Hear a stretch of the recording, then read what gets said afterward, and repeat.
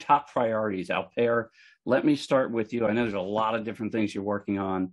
Top priority for you right now with Zero Trust architecture.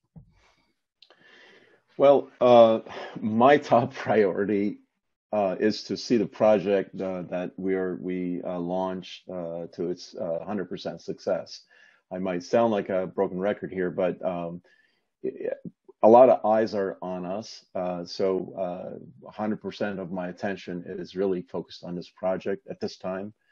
Um, and it's important that we put out some example ZTAs out there. But what we do with uh, with our project is we we also complement each solution that we build with uh, an 1800 series document, um, which we work on in parallel as we develop our solutions. Uh, and this this 1800 uh, uh, series document uh, is what we refer to as practice guide.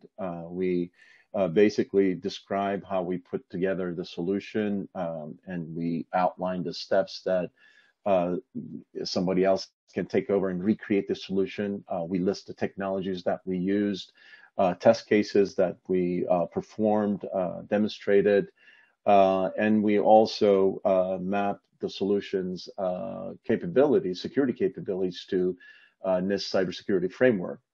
And mm-hmm. so we have really two parallel activities that are top priority that is um, on my plate going in parallel and um, uh, we want to uh, put out uh, anything that we developed and and we can uh, also uh, put out as or or document at the same time and uh, that's that's that is our focus right now.